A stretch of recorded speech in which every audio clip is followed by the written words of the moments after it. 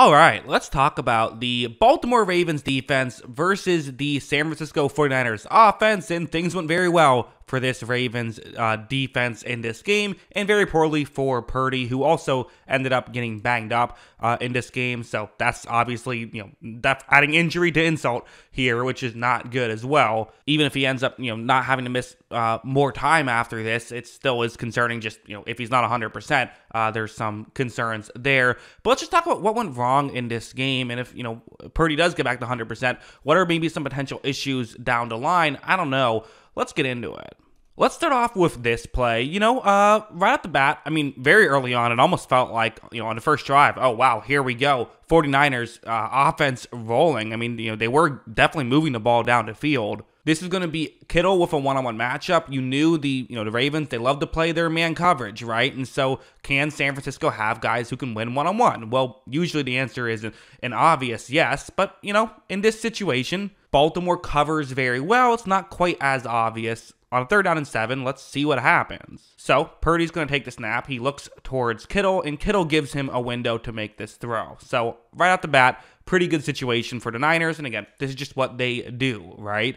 Purdy makes this accurate throw, and on top of this, Kittle is able to break a tackle. I paused it right here, but you see, I mean, he has plenty of room to run. You're almost wondering, is he going to get a touchdown on this play? Well, as you see, no. Aiyuk does a good job blocking, but Hamilton able to, is able to do enough. A teammate's able to uh, help, uh, you know, uh, run down uh, Kittle, but still huge gain. So you were thinking, okay, here we go. This is the 49ers and what they do. But then the turnovers started. This was the first one. Using this angle, it gives us a better view of what uh, happens. So, you know, the play concept itself, a bit of a risky concept, but again, you know, uh, it's not the worst idea in the world or anything. It's Deebo Samuel running a route, trying to get into a gap in coverage over the middle. This is what the 49ers like to do, but that's also kind of the issue, right? Because it's what the 49ers like to do, the, the defense for the Ravens, which is a good defense, you know, debatably the best defense in football, they're going to be aware that this is what the 49ers like to do.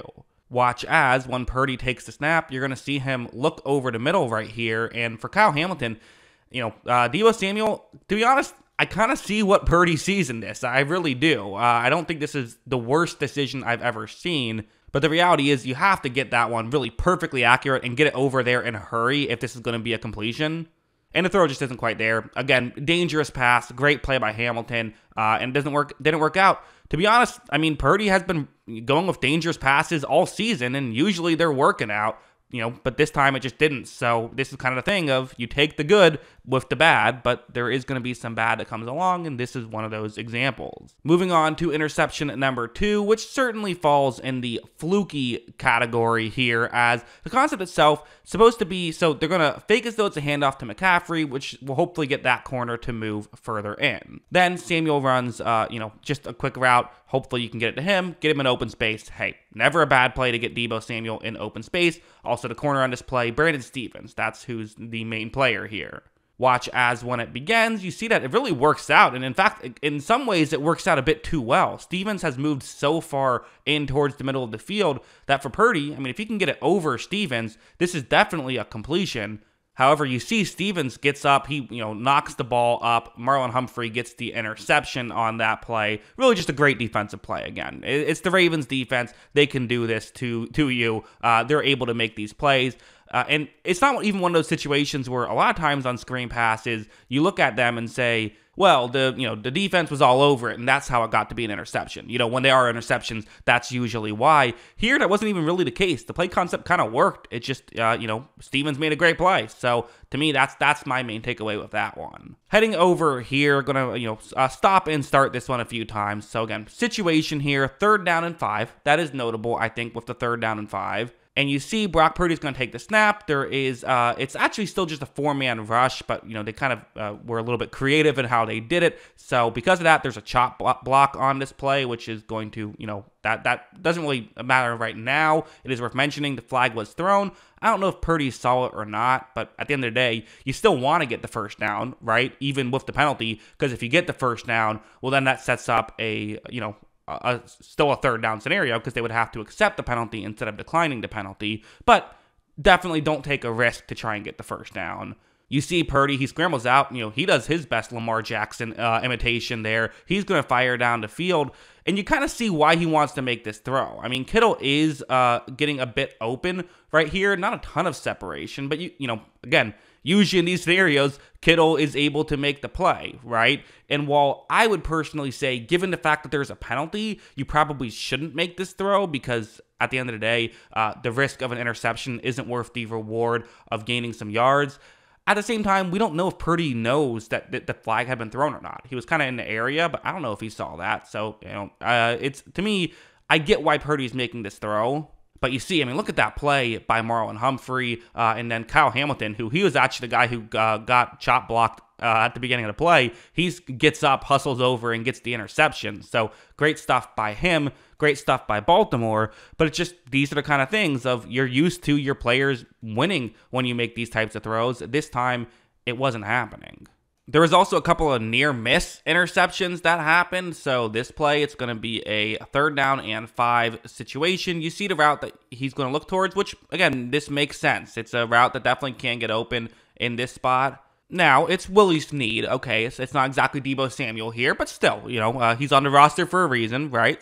But right when this play begins, you know, uh, there's going to be some contact here at the line, uh, you know, legal contact, but because of it, it's slowed down by Snead uh, to the point where he's not really getting open here to be honest, I mean, Samuel is wide open. I kind of probably would have rather seen him get to his second read, uh, which would have worked in this scenario. Uh, but, you know, again, that's maybe a bit, bit nitpicky. Patrick Queen is completely, you know, uh, running free off the edge. So Purdy's just going to throw it where he can here, trying to get a, a first down, which I understand here.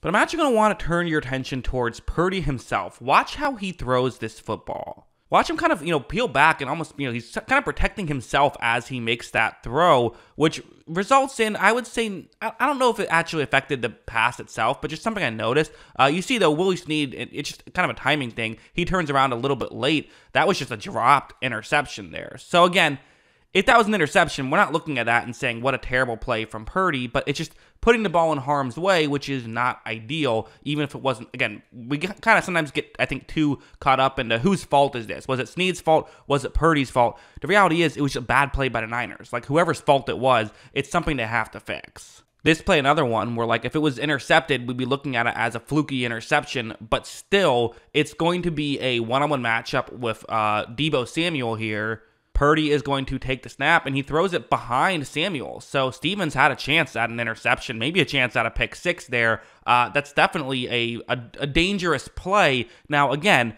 it would have been a fluky interception if it was intercepted. But also, it was a bad play from Purdy. He threw it behind his receiver. Sometimes when you throw it behind your receiver, interceptions happen. So uh, that's just something that you have to have to work on. This interception, which uh, you know was really uh, at the time definitely felt like a dagger, where it's uh, you know zone coverage that the Ravens are in. They don't just play man coverage; they will play zone. Playing zone here. Watch as when Purdy takes the snap. I mean, it's just one of those situations where like, okay, check down's open basically anytime you can get the ball to Christian McCaffrey, it's a good decision. But even if it wasn't Christian McCaffrey, still probably a good decision to hit the check down here.